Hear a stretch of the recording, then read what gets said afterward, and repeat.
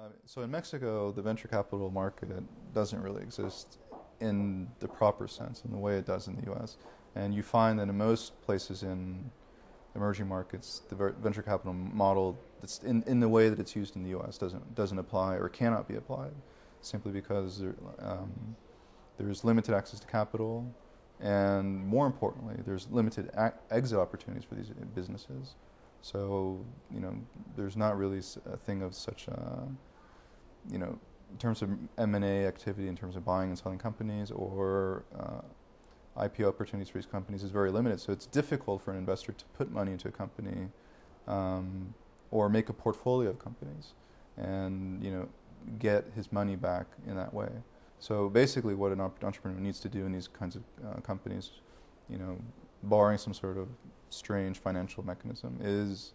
find uh, some sort of angel investor, and there are a lot of, of angel investors in, in emerging markets,